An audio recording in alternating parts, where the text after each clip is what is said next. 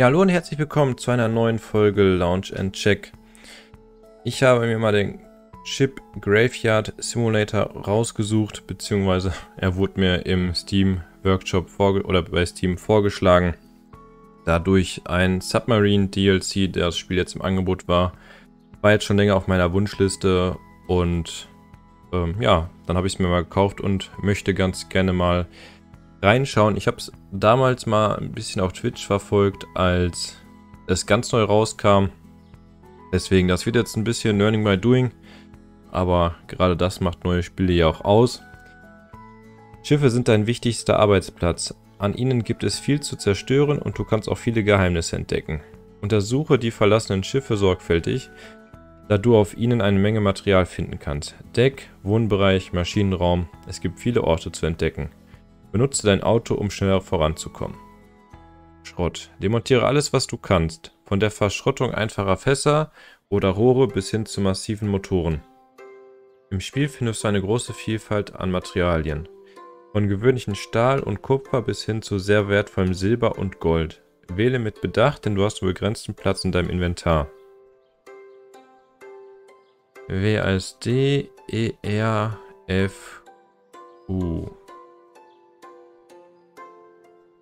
Okay, ich denke mal, das kriegt man hin. Ah, das war's schon? Okay, du kannst kein Schiff bestellen. Es steht im Zeitplan. Finde Metallschrott und vernichte ihn. Mein Rucksack wird, denke ich mal... Ach nee, mein Auto kann 12 Slots haben. Ich habe 10 und ich habe kein Geld. Gut. Ah, gehen wir mal hier rüber, oder? Fahren wir direkt mit dem Auto. Hier für Enter. Okay, muss man nicht anmachen. Schlüssel steckt.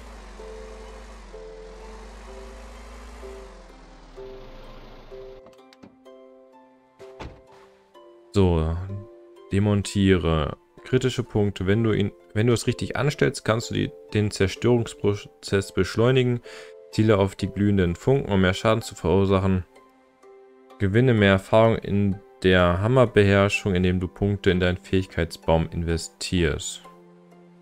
Alles klar.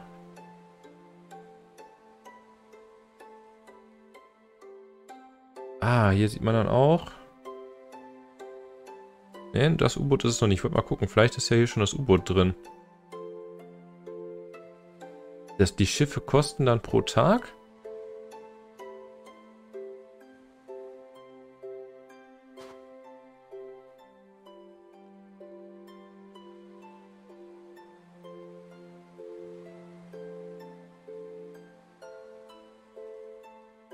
Okay, Tab ist es nicht. Wo war ich, natürlich habe ich jetzt natürlich direkt nicht die Taste, womit ich verwendet sie Equipment. Ah, Werkzeug 1, 2, 3. Da war irgendwo... Bin ich noch zu weit weg?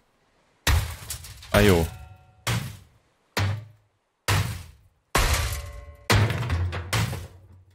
Okay. E zum Aufsammeln. Verkaufe die Materialien auf dem Markt. Kann ich die mit 1 wieder wegpacken? Ja.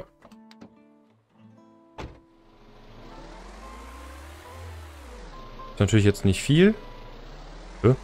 Nur zwei Materialien im Rucksack. Und rechts drei gefunden. Achso, ich glaube, ein Auto ist hier noch überbewertet. Verkaufe. Du kannst hier sorgfältig gesammelte Materialien verkaufen. Der Verkäufer ist nicht der schönste Mann der Welt, aber er bietet gute Preise. Marktregeln. Die Materialpreise ändern sich täglich, je nachdem, was du verkaufst. Ja gut, man kann natürlich auch zu viel verkaufen und dann ne, Angebot und Nachfrage. Was soll ich denn oder was möchte ich denn verkaufen? Ja, ich habe noch keine Ahnung, aber 32 Dollar hätte ich schon ganz gerne. Kaufe einen Sägeblatt im Werkzeugshop.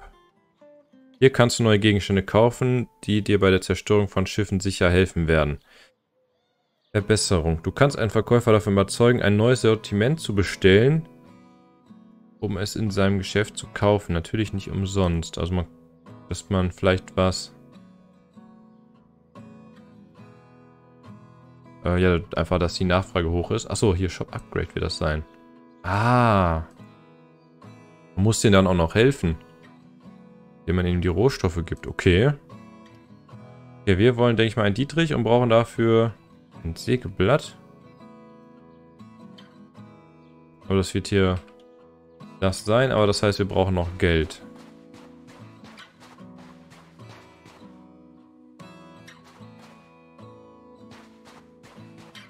Sammel einfach mal, was hier so rumliegt. Oder kann ich hier einfach auf irgendwas draufhauen, so wie auf dich?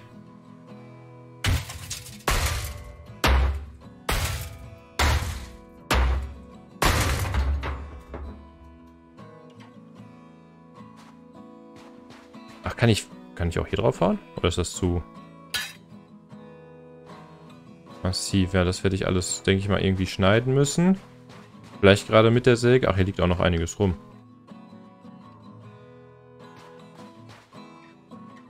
Gut, aber damit sollte ich jetzt schon mal auf jeden Fall mehr gesammelt haben als die 18, die mir noch fehlen.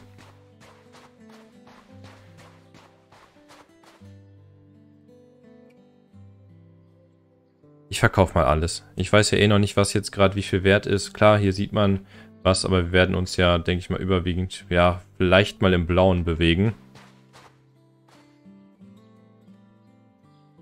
So, Säge zum Trennen von Metall, aber Vorsicht, Säge kann süchtig machen.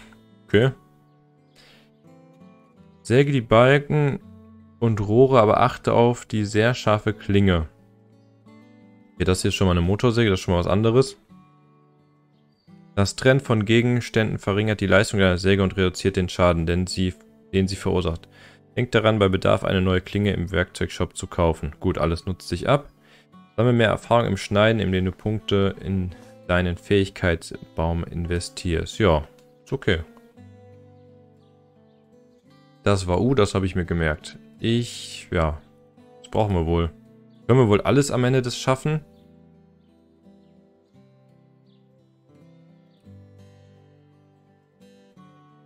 Hammer, Schaden, Geschwindigkeit. Ich mach mal das.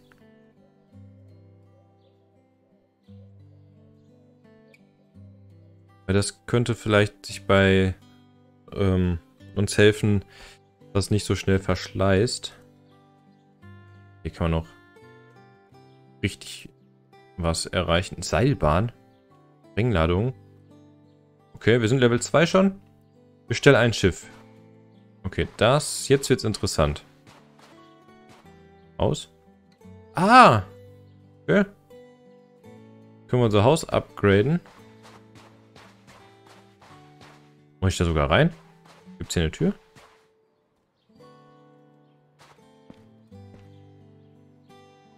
Deine Bestellung. Und ich denke mal, dieses Schiff kostet 1 Dollar pro Tag.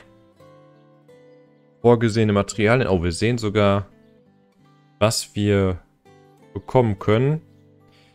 Hier Alkohol, Silberschott, Goldfragmente gibt es gar nicht. Kupfer wenig oder klein, Aluminium sehr wenig. Alles in Gold fehlt. Benzin fehlt auch. Sehr wenig, sehr wenig. Viel, klein, mittel, klein. Ja, mal gucken, wenn wir das komplett zerlegt bekommen. Warum nicht? So, warte auf das Schiff. Kann ich mich schlafen legen? Weil das wird doch helfen. Am Strand tauchen neue Gegenstände auf. Alle Gegenstände, die auf dem Boden liegen, verschwinden. Gegenstände auf dem Schiff werden nicht angeholt. Ja, ist doch okay, weil wir wollen ja um 8 Uhr auch das Schiff haben. Da kommt...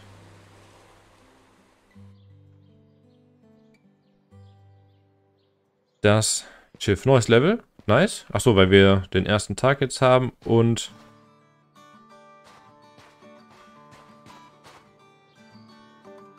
Stahl, Kupfer 400. Okay, das darf ich auf jeden Fall nicht... Machen wir das Auto?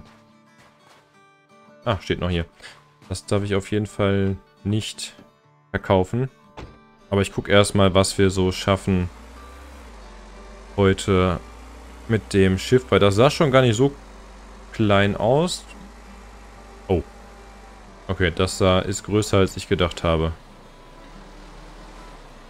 Ich habe das mit dem Inventar noch nicht so ganz verstanden mit den 10 Gegenständen, weil wir vorhin ja auch mehr hatten.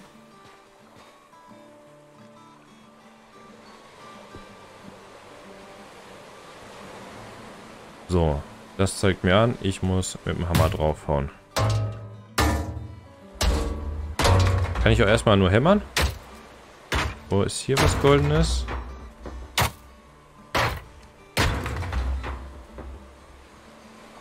Ah, oben steht eine...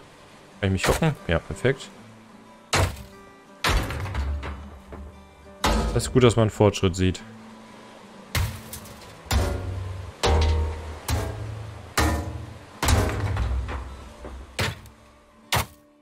Dann mal zerlegen wir auch das Schiff mal so gut wie wir können. Einsammeln, würde ich sagen, machen wir immer so phasenweise. Obwohl das hier ja gerade wirklich nur zerstören ist. Kann ich euch einsammeln? Ja, perfekt. Wenn ich noch das... Oder den, das Item, in dem Fall den Hammer in der Hand halte.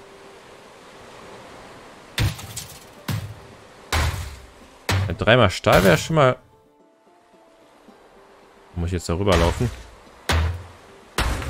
Okay, ginge so auf jeden Fall schneller. Gehört denn hier alles noch dazu?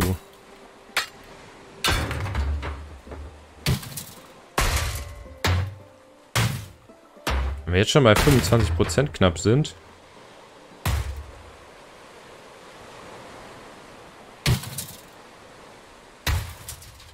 Weiß noch nicht, ob das so viel Sinn macht, äh, zu wechseln und dann woanders drauf zu hauen, weil so geht es ja eigentlich auch gerade noch relativ schnell. Vielleicht wird das später mal interessant.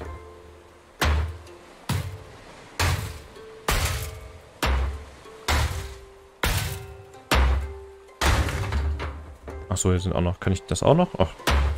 Ich muss vielleicht erstmal weiter umgucken sollen.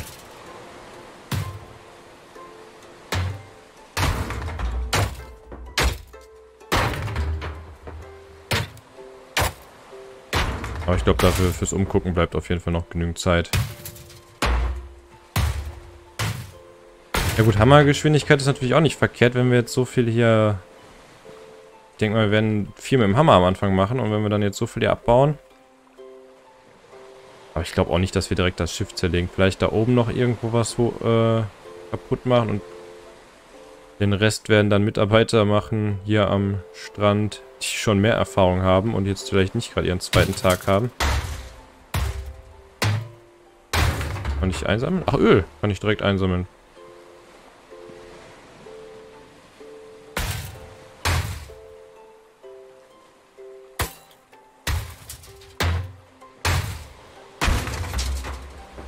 Okay, macht. Wenn man gut trifft, dann geht das schon deutlich schneller.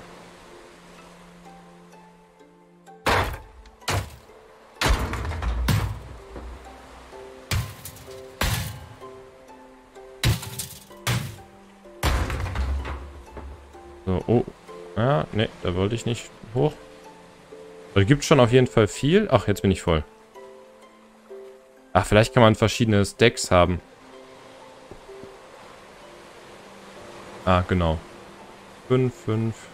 5 wird voll sein. Ich denke mal, das ist auch voll.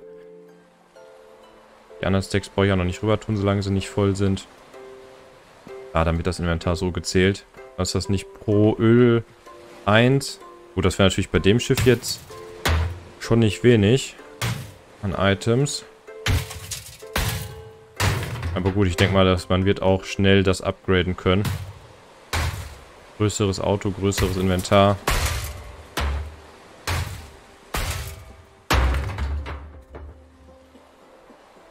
Okay, 50% haben wir.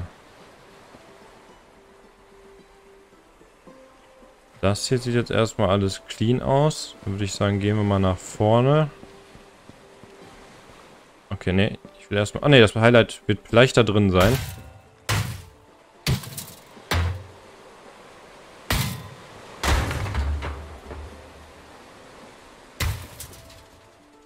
Wo ich mir auch vorstellen könnte, dass wir da drin noch nichts haben. Ich hoffe, dass da irgendwie ein, zwei Sachen sind, die vielleicht ein bisschen wertvoller sind. Frage mich, ob wir überhaupt einmal verkaufen müssen auch. Oder ob wir hier direkt alles mit einmal mitbekommen. 82 Dollar haben wir. 400 brauchen wir plus die Items. Da würde ich gleich vor dem Verkauf nochmal kurz gucken, was das genau war. Das ist einfach nur Schrott, denke ich, oder? Kommt da was raus? Oh. Hm. Vielleicht kam es daher, vielleicht auch nicht.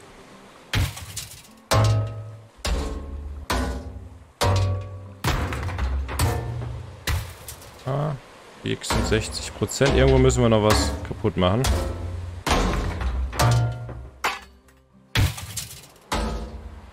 Vielleicht doch noch drin. Oder zählt das Einsammeln der Items vielleicht auch? Heißt Zerstörungsfortschritt. Aber man scheint sich auch darauf zu beziehen.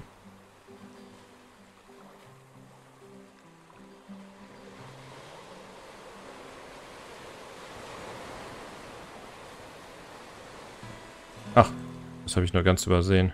Ich denke mal, danach können wir auch noch mal was einladen gehen.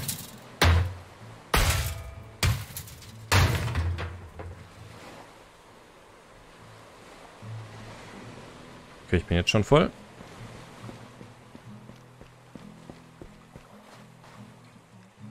So, 5, 5, 5, 5, 5.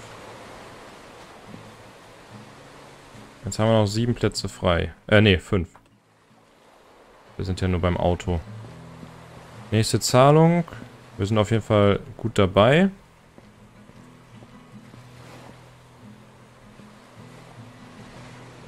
Ah, genau, sowas hier. Elektrobox oder sowas.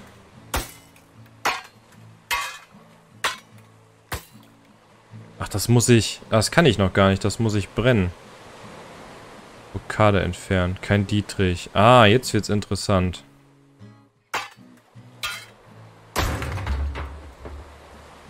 Kein Dietrich. Oh, da liegt noch was drin. Okay, dann schaffen wir gar nicht 100%, weil wir einiges gar nicht können. Möglicherweise.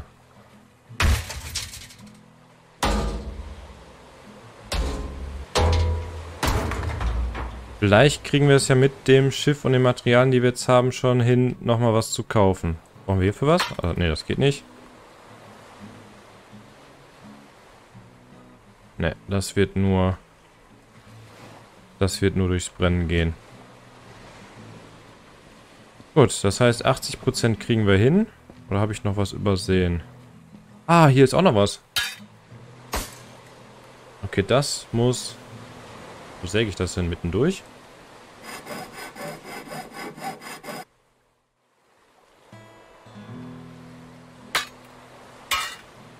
Okay, so schon mal nicht.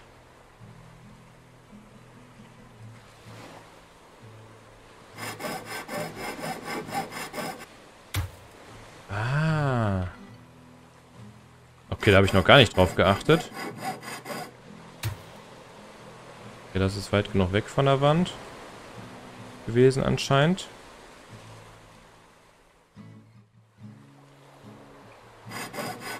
Unten rechts sieht man jetzt, wie abgenutzt wir das Ganze haben.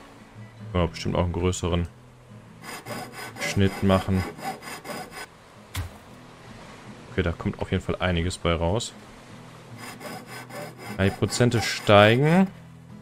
Noch gespannt, ob wir die 100% hinbekommen, ohne dass wir was Neues kaufen müssen. Also, dass sich das jetzt hier auf unsere Materialien bezieht. Aber ich denke mal eher weniger, dass es sich aufs ganze Schiff bezieht. Und ja, die wollen halt auch, denke ich mal, am, am Anfang direkt mitteilen, wie und was man upgraden soll. 88% schön und gut. Viel Kupfer, zu viel Kupfer auch. Ich werde nicht alles mitkriegen. Natürlich die Frage, was man hier jetzt noch wegbekommen könnte. Aber wir fahren erstmal.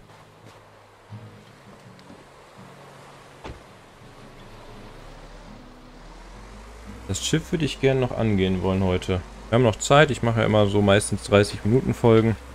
Auch bei meinen ganzen anderen Videos, deswegen das sollten wir, denke ich, mal hinkriegen. Ich einmal kurz nochmal mir notieren. Werkstatt. Wir wollen 10 Stahl plus 6 mal Kupfer. Okay, das dürfen wir nicht verkaufen. Oder kann ich das hier schon irgendwie rein transferieren? Ne, das werde ich wohl bei mir halten müssen. Markt, so. Öl kann weg. Kupfer brauchen wir zwei Stacks. Stahl haben wir noch genug. Kaufen für 300. Oh, dann nehmen wir jetzt hier einmal Stahl raus, dann haben wir es ja eigentlich schon. Nein, wir brauchen 10 mal Stahl.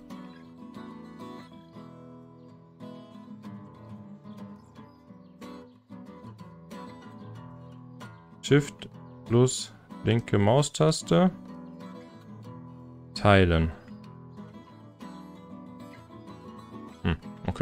Hat nicht ganz so funktioniert. Dann kaufen wir dich mal.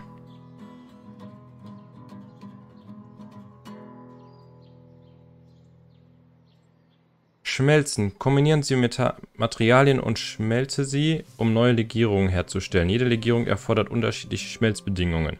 Du musst den Ofen sorgfältig positionieren und vorsichtig sein. Ein Fehler kann deine Materialien zerstören. Lager. Nutze das Lager in der Nähe des Ofens, um Materialien zu lagern. Okay. Verbesserung. Erweitere die Werkstatt, um neue Schmelzoptionen zu erhalten. Temperatur, Luft und Wassertemperatur sind für den Schmel Umschmelzprozess sehr wichtig. Durch die Aufrüstung erhöhst du auch den Lagerplatz.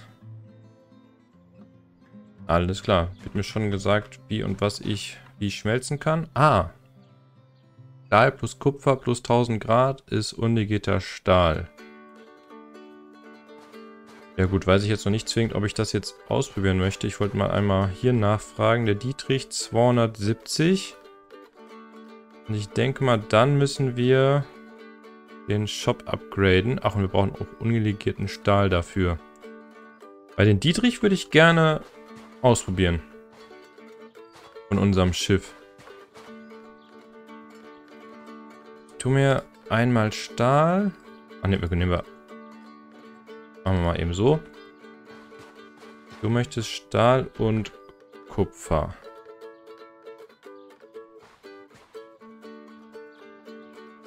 Stahl und Kupfer kommt einmal hier rein. Der Rest, jetzt kann ich glaube ich alles mitnehmen, wird verkauft. Ich denke mal an Kupfer. Damit werden wir zugemüllt. Ich denke mal, das wird richtig viel. So, 500 Dollar. Bitte einmal den Dietrich. Okay. Wenn die Inspektion, ja, ich glaube dir mal. Benutze den Dietrich, um verschlossene Türen und Truhen zu öffnen. Verschiedene Kisten haben unterschiedliche Schwierigkeit, ne, haben unterschiedliche Schwierigkeit zu öffnende Schlösser. Wenn du einmal keine Dietriche mehr hast, kaufe sie im Werkzeugshop nach. Ja, okay. Alles denk, relativ selbsterklärend. So, wir können gleich vielleicht noch einmal den Ofen ausprobieren, nachdem wir mit dem Schiff fertig sind. Dass wir einmal unlegierten Stahl herstellen. Sonne geht auch so langsam unter. Das heißt, wir haben jetzt noch auf jeden Fall die zwei Truhen zu öffnen. Und ich muss noch mal gucken, ob wir hier noch mal irgendwo was schneiden können, weil da habe ich... Oder muss ich das dafür in die Hand nehmen? Oh, kommen wir da hoch? Das die 100%. Aha. Hier ist auch noch was.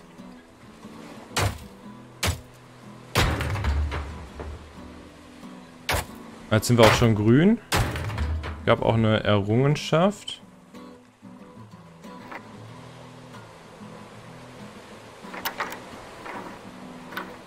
Okay, das war jetzt ziemlich easy.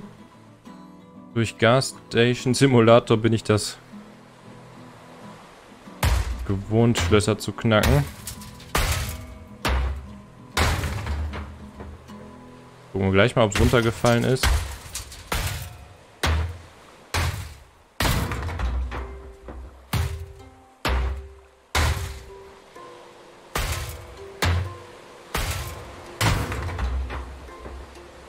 Und ich denke mal, das letzte, was jetzt noch fehlt, ist das, was wir abbrennen müssten. den Schaltkasten. Das hier wird nicht gehen, weil dann bricht irgendwas zusammen. Das geht auch nicht. Machen wir die Taschenlampe an. Das, da leuchtet auch nichts. Ah, da wäre auch nochmal eine Treppe gewesen. Ein Teil ist runtergefallen. Das sieht eigentlich alles... Aber ich denke jetzt mal nicht, dass wir außen was machen müssen. Ich denke mal so, das mit dem Dietrich ist so on top. Und ich denke mal, das hier ist ja, einfach das, was am Anfang noch nicht geht.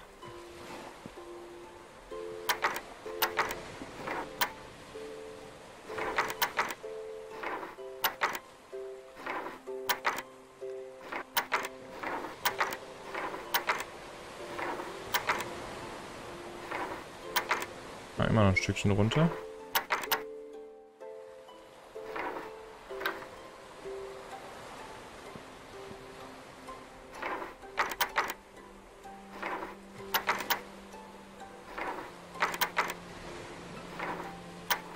War ja fast schon in Ausgangsposition. Ja, dann muss das wohl hier bleiben. Das kann ich noch nicht. Dafür brauchen wir den Händler auf Stufe 2, denke ich mal. Das hier geht auch nicht ab, oder? Nee. Ja, wenn ich was übersehen habe, dann ist jetzt zu spät, weil ich würde das Schiff, glaube ich... Und ich kann mir gut vorstellen, dass wir es zurückgeben müssen, weil dann würde ich es auch zurückgeben. Aber ich würde sagen, wir gucken jetzt nochmal nach dem unlegierten Stahl. Ja, schade, dass man die 100%... Ach ja, hier liegt natürlich jetzt noch überall was rum. Wenn man einfach nur Geld mal eben braucht und sich zum Beispiel kein Schiff leisten kann, finde ich das eigentlich ganz gut. Okay, dich stelle ich einfach nur so ein. Ah, ich muss das vorher einmal checken. Okay, dann Kupfer und Ah ne, wie mache ich dich an? Ach, oder brauchst du 25 von... Ne, hier steht einmal.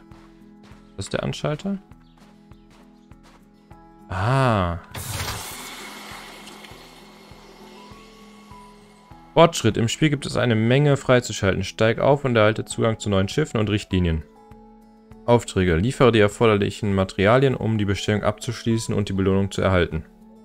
Du wirst nie alle Aufträge abarbeiten können. Jeden Tag kommen neue hinzu. Ja gut, das ist ja eigentlich gar nicht mal verkehrt. Verbessere das Zelt. Oder neuer Auftrag verfügbar. Das heißt, wir haben jetzt... Ach, wir haben das direkt im Inventar. Nee, kann ja nicht sein. Haben wir das im Lager? Oh nicht, wo ist denn das?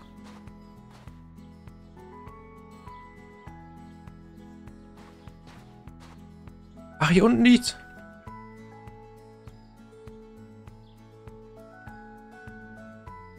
Ja, nice. Dann haben wir das ja jetzt auch schon mal. Fünf Stück. Guck mal, alles einfach ins Lager. Dann würde ich sagen, gucke ich noch einmal, ob ich das Schiff zurückgeben kann oder wie das ist. Reservierung annullieren. Das Schiff verschwindet um 8 Uhr. Du hast kein Schiff bestellt. Und hier haben wir dann neue Schiffe, wo wir neue Sachen machen können. Da haben wir dann wieder noch das Anfängerschiff. Und hier haben wir dann Schiffe, die natürlich deutlich mehr kosten. Denke aber auch sehr, sehr viel mehr Geld bringen. Und ja, da bin ich mal gespannt, wie die Schiffe dann aussehen. Ich fand das ja jetzt schon ziemlich groß. Das soll es aber für heute erstmal gewesen sein mit einer neuen Folge Launch and Check hier vom Ship Graveyard Simulator. Ich bedanke mich fürs Zusehen. Ich denke mal, ich werde hier auf jeden Fall nochmal privat weiterspielen. Vielleicht wird es auch mal nochmal eine Folge so geben von dem Spiel. Ich fand den ersten Eindruck jetzt eigentlich ganz cool. Gerade wenn man dann auch nochmal größere Schiffe zerlegen kann. Oder auch da vielleicht dann auch relativ schnell hoffentlich ein U-Boot. Wer weiß, ab wann das DLC das vorsieht, dass hier sowas unter verfügbare Schiffe auftaucht. Ähm, ja, gut, da muss ich einfach spielen für. Mal gucken, wann das kommt. Aber das soll es für heute erstmal gewesen sein. Ich wünsche euch ein schönes Wochenende Würde mich über eine Bewertung freuen. Und ich hoffe, man sieht sich in einem der nächsten Videos wieder. Bis dahin, ciao.